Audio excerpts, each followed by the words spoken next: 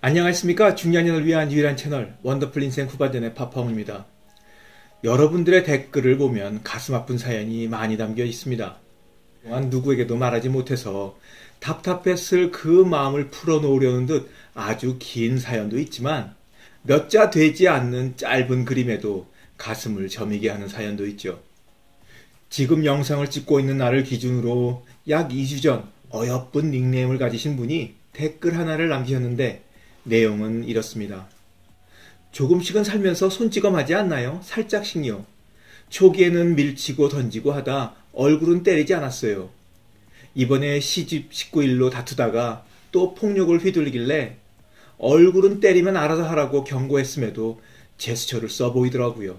그래서 경찰에 신고를 해서 한동안 냉전이었어요. 글을 남기시는 분들의 대부분이 핸드폰으로 이렇게 글을 쓰시니까 문장이 짧게 짧게 끊어지고 그래서 뭐 뜻은 이해가 되는데 다른 분들께 원문 그대로 전달하기가 어려운 경우가 있습니다. 그래서 이번 글도 제가 단어의 배열을 좀 옮기고 손을 댔긴 했지만 뜻은 왜곡되거나 훼손되지 않았을 거라 생각됩니다.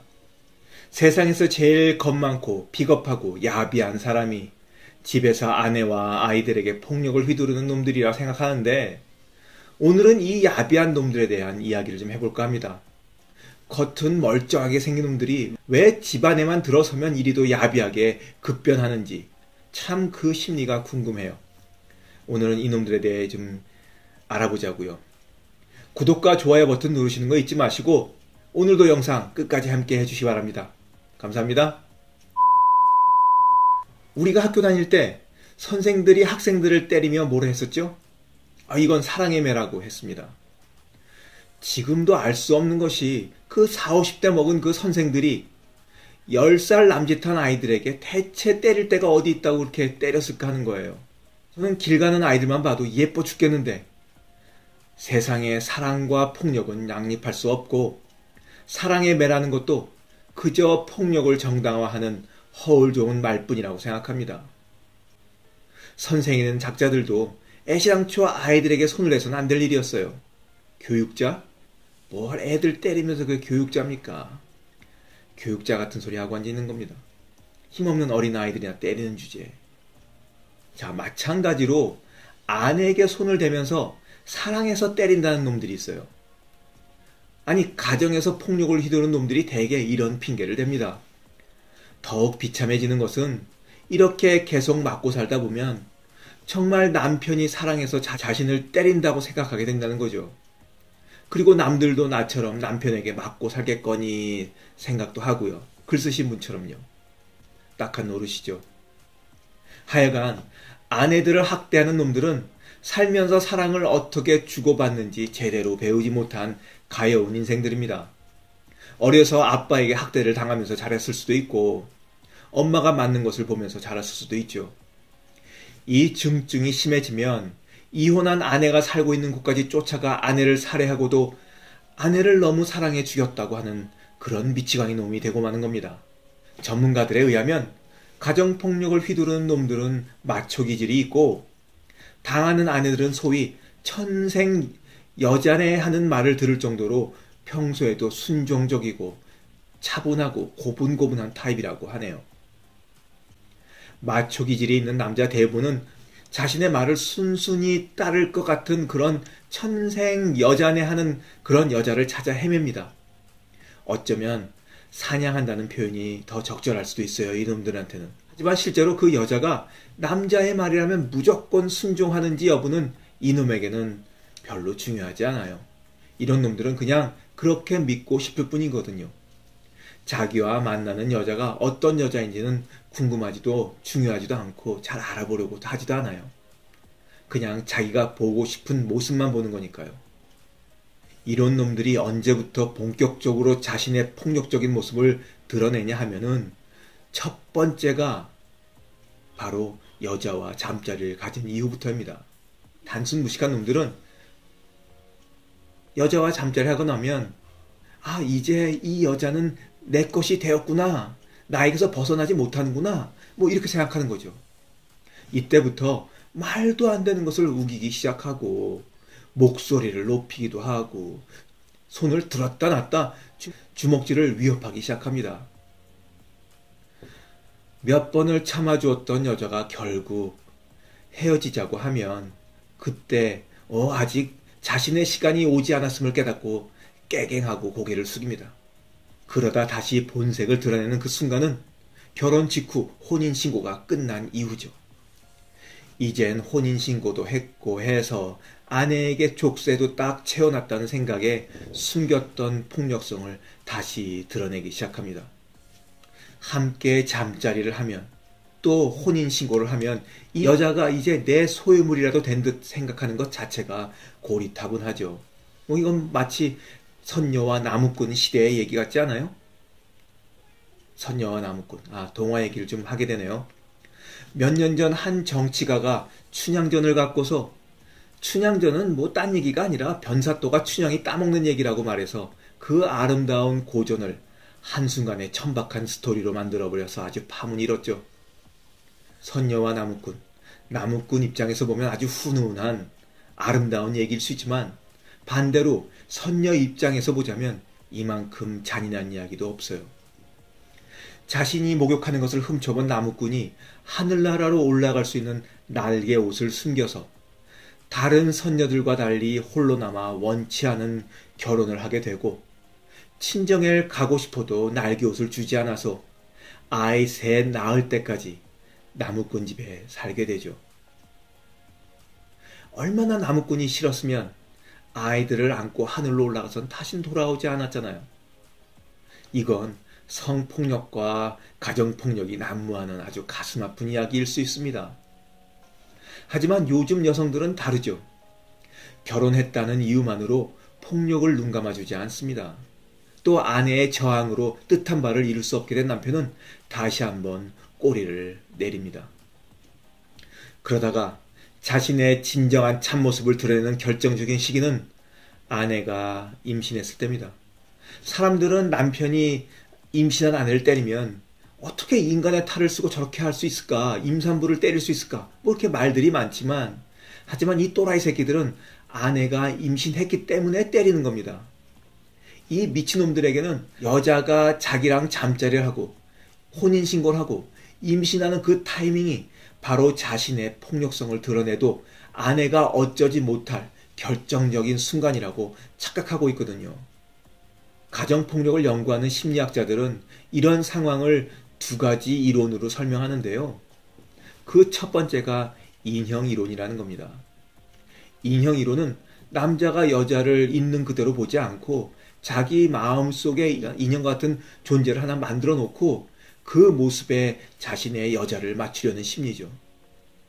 남자는 자기가 생각하던 여자의 이상적인 모습에서 아내가 조금이라도 벗어나면 견디지를 못하는 거예요. 자신의 인형은 완벽하고 자신의 의견이라고는 없는 100% 순종하는 그 자체인데 아내가 자신의 인형과 다르고 의견을 내면 남자는 자신의 상상에 끼워 맞추기 위해 여자를 윽박지르고 위협하고 때리기까지 한다는 이론입니다. 또 다른 하나는 닷 이론이라는 것이 있는데 닷 이론은 왜 이런 나쁜 남자와 결혼하게 되는지를 설명하는 이론이에요. 그러니까 바다를 항해하다 어느 항구, 뭐 어느 목적지에 닿으면 닻을 내린 것과 같이 이놈들은 자신의 닻을 내릴 여자를 찾아 헤매는 거죠. 이러고 보면 심수봉의 노래 남자는 배, 여자는 항구도 닷 이론을 기초로 해서 나온 듯 싶기도 하죠. 하여간 가요는 나이 먹을수록 깨닫는 거지만 인생의 모든 것을 담고 있어요. 아, 죄송합니다. 다시 본론으로 돌아와서 처음부터 폭력성을 드러내면 여자가 만나주지 않으니까 닻을 내릴 수 있을 때까지 기다리면서 여자의 환심을 사기 위해 무척 잘해줍니다. 생각해보세요. 지금 여러분의 남편이 지금 여러분을 때리고 있지만 연애 시절에 아주 기가 막히게 이런 남자 없구나 하는 것처럼 잘해줬을 겁니다. 이놈들이 처음 만나자마자 더러운 성격을 내보이는 게 아니라 처음에는 정말로 무지하게 잘해주거든요. 그래서 관계가 잘 이어져 첫 섹스를 하고 나면 그리고 혼인신고를 하고 나면 아내가 임신하고 나면 드디어 닻을 내리고 폭력성을 적나라하게 내보이는 게 바로 반이론입니다. 이런 남자들은 아내에게 욕을 하고 소리를 지르고 구타한 후에도 자신의 행동이 애정에서 비롯됐다고 말합니다. 이런 과정을 반복적으로 겪다 보면 아내도 헷갈리기 시작하죠. 학대받고 있다고 스스로 인정하기엔 좀 너무 비참하기도 하고, 그래서 남편이 자신을 사랑해서 때린다는 것을 받아들이기도 하고요. 자기가 잘못해서 남편이 화를 낸다고 상황을 합리화하게도 됩니다. 원래 사람은 좋은데 꼭지가 돌면 지랄 맞으니까 성격만 잘 맞춰주면 된다. 응? 내가 신경을 건드렸으니 내 잘못이지. 아니 이만큼 나를 사랑해준 사람이 또 어딨냐? 응? 아유 다른 여자들도 나처럼 정도 차이는 있지만 남편에게 손찌검 당하면서 살지 뭐 다른 놈이라고 다 틀리겠어? 맞고 사시는 아내분들께 분명하게 말씀드립니다. 세상에 때리고 욕설을 퍼붓고 학대하며 나누는 사랑은 절대 있을 수 없습니다. 누군가를 때릴 때는 상대가 미워서 그러는 거예요. 사랑해서 때릴 수는 없습니다. 진정 남편이 아내를 사랑한다면 온전한 주체적인 한 인간으로서 존중하는 것이죠. 아내가 진정 원하는 행복을 느낄 수 있도록 또 원하는 것을 성취할 수 있도록 도와줘야 하는 게 진정한 사랑입니다. 폭력은 절대 사랑과 공존할 수 없는 거예요. 폭력을 휘두르는 남편은 거짓이 아니라 정말로 아내를 때리면서도 아내를 사랑한다고 느낄 수 있습니다. 아주 불쌍한 존재죠. 자기 나름대로의 강한 사랑의 감정이라고 믿을 수 있어요. 하지만 그들이 가지고 있는 감정은 정상적인 사랑이 아닌 통제, 간섭, 착취, 소유욕, 집착, 질투를 가장한 것 뿐입니다. 아내를 때리는 남편은 아내가 평생 동안 불평 하나 없이 자신에게 굴복하고 복종하기를 원합니다.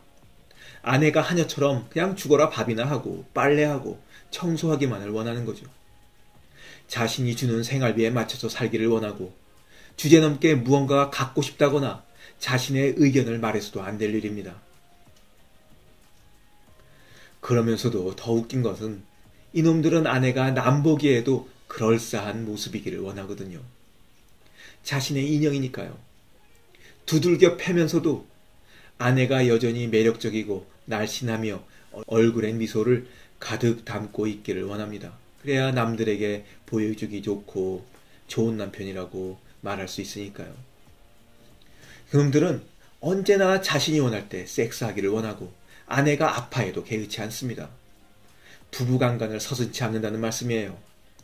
아내가 더 이상 관계를 허락하지 않으면 자신의 외도는 아내의 겁으로 비롯된 것이라고 말하면서 모든 원인을 아내의 탓으로 돌리는 것은 뻔할 일입니다.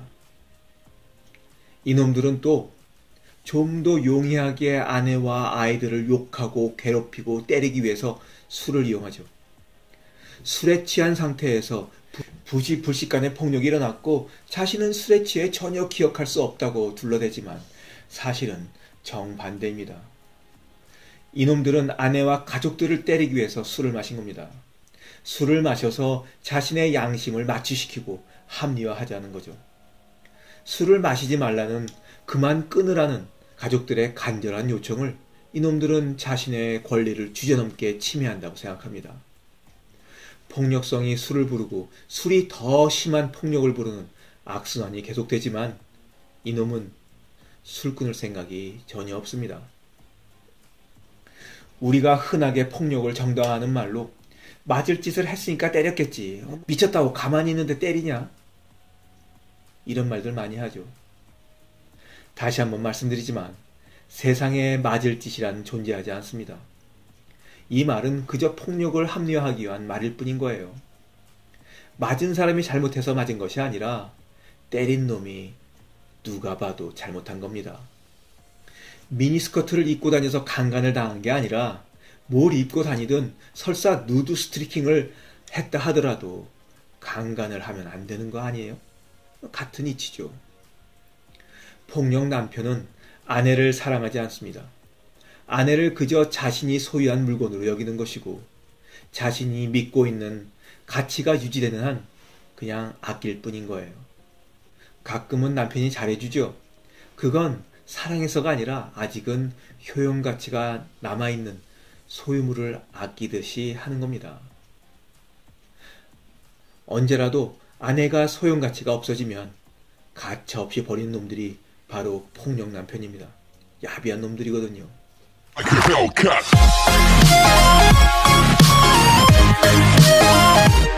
절대 남들도 자신처럼 남편에게 손찌검 당하면서 산다고 생각하지 마시기 바랍니다. 그리고 얼굴만 빼고 다른 곳은 폭력을 허용하거나 밀치고 물건을 던져도 용납해서는 안 될 일입니다. 세상의 아내들 모두가 그렇게 맞으며 살고 있지 않고 작은 폭력을 눈 감아주면 다음번엔 더 큰 폭력을 마주하시게 됩니다. 그러다 결국 언젠가는 얼굴에 멍자국을 달며 사신 날이 오게 될지도 몰라요. 폭력 남편과 사는 것은 아내 여러분은 물론이고 아이들까지 시들어 죽게 하는 일입니다.